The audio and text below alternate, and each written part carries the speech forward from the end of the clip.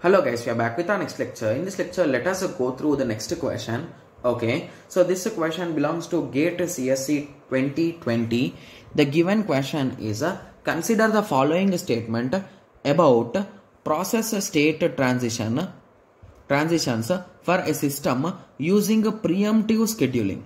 Okay, so a running process can move from a ready state move to ready state okay? So let us uh, try to draw the diagram first.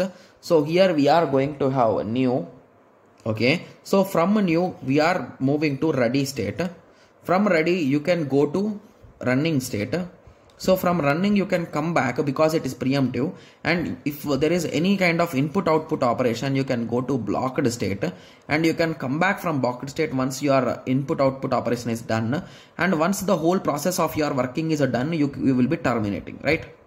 Yes. So now what are the options saying? So first option says that a running process can move to ready state. So it can come back. Yes there is a path.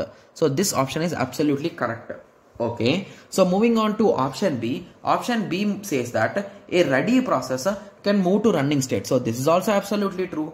Similarly moving on to option 3 a blocked process can move to running state. Okay. So this might be a bit funny right? So how come a blocked process can directly go to running? So that's wrong right? So i think option 3 should be wrong. Similarly moving on option d. So option d says that blocked processes can move to ready state. Yes this is correct. So now option 1 2 and 4 are correct. So in the question they are asking only true statements. So 1 2 and 4 so option c is the correct answer. Got it? Yes. So this is a di sorry this is a direct question based on the diagram right?